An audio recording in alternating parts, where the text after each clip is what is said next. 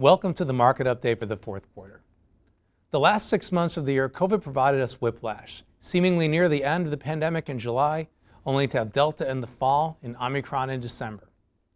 It would be great to have an update that didn't include COVID, but we're not quite there yet. The fourth quarter was positive for the equity markets and relatively flat for fixed income. The themes that are driving markets remain the same COVID levels, and related to COVID, the normalization of monetary policy, known as tightening, real estate and regulatory concerns in China, and the theme we will discuss most with clients and prospects is inflation. Let's start with a COVID chart from JP Morgan. I'm sure you're all well aware of Omicron, which showed up just in time for the holidays. Personally, I knew more people that caught the virus in two weeks than in two years, and I'm sure many of you had the same experience. Omicron's a double-edged sword. So looking at the blue line that shows a huge spike in cases, but the black line is deaths, which is flattening. So while Omicron is a highly transmissible, or the highly transmissible variant, there's hope that the, as the country catches this seemingly mild variant, we may finally be able to build natural immunity to future variants, which could bring the long-awaited herd immunity. On that thought, the first week of market activity reflects the belief that herd immunity is likely. Rates have risen sharply to start the year, reflecting inflation and continued economic expansion. And in equities, we've seen a rotation from large growth stocks to cyclical stocks, those that perform better in an economic recovery.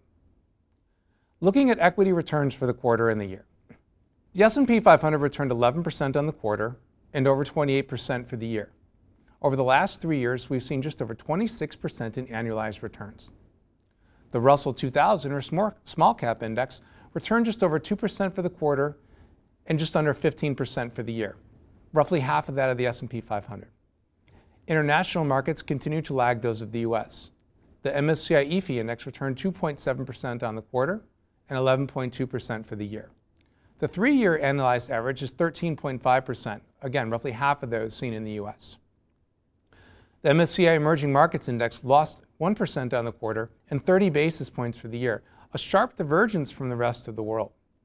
Remember that China is roughly 34% of the emerging markets index, and China faces concerns over the real estate market with possible defaults, and also investor concern over continued government regulation for their technology names.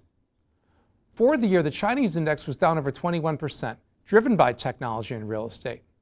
This was the main driver of negative emerging market returns. In previous updates, we mentioned that market impact, or the market impact of the, of the large names in the US equity market, many of these are the household tech FANGMAN names. These names are experiencing some of the widest divergence in terms of valuation from the rest of the market. So while large cap techs have been, have been big drivers of US equity performance, they also know are very expensive relative to the rest of the market.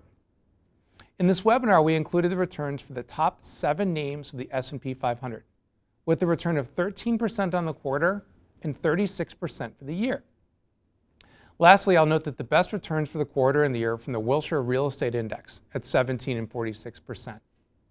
REITs have over twice the yield of U.S. stocks at 2.9%, and we're also driven in 2021 by a stronger economic recovery, including increasing rents and occupancy rates seen during the year. Looking at the Morningstar style boxes for the quarter, the key thing to note here is the left columns of both boxes. This represents the value style, and as you can see, value has largely outpaced growth for 2021. We would expect value to outperform growth last year, a year with strong economic expansion, sharply higher inflation expectations, and rising rate expectations. Note that since the year 2010, growth has largely outperformed value, but headed into 2022, value looks attractive from a valuation perspective because value stocks are significantly cheaper. And as rates are expected to rise, this has been historically a tailwind for value names. Before we look at fixed income, let's take a quick look at the US yield curve. Looking at the red curve, that was a year ago when we started 2021. And remember, we were somewhat optimistic for the vaccines to end COVID, the economy was starting to improve, and we also were aided by a massive federal spending bill that passed in January of last year. The blue line is three months ago a large shift higher in interest rates across the board, largely reflecting rising inflation. And the green line is the end of December, showing much higher rates in the front end with some curve flattening. So why is that? Well, because now the market is expecting rate hikes, which impacts the short end of the curve. Looking at expectations for interest rates, I mentioned that we are expecting interest rates to rise. And this chart shows that we're now looking at three interest rate hikes of 25 basis points in 2022. Now let's remember how this has changed. One year ago, the market was pricing in the first rate hike in April of 2024. Last August, six months ago, the market was pricing in the first rate hike in August of 2023. So in a year, the expectations for rate hikes have been pulled forward by more than two years, this in response to economic growth and inflation that has spiked for the last six months. In addition, last week the Federal Reserve minutes indicated more hawkishness than expected. Beyond expectations for higher interest rates, there are also discussions about shrinking the Fed balance sheet.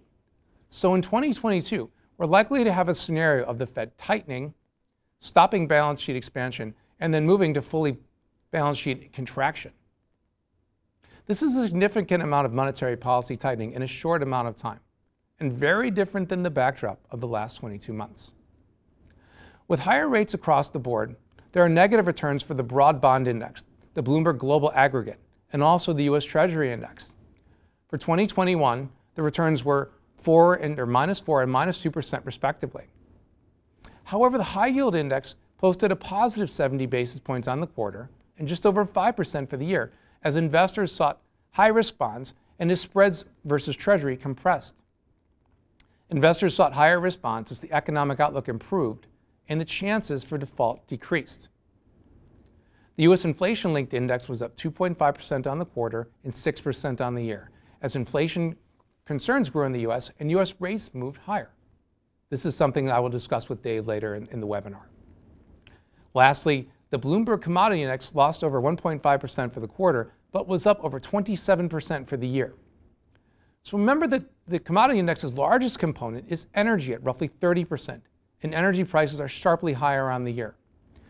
This is again part of the inflation theme that's one of the main drivers of 2022. That wraps up the market update for the fourth quarter.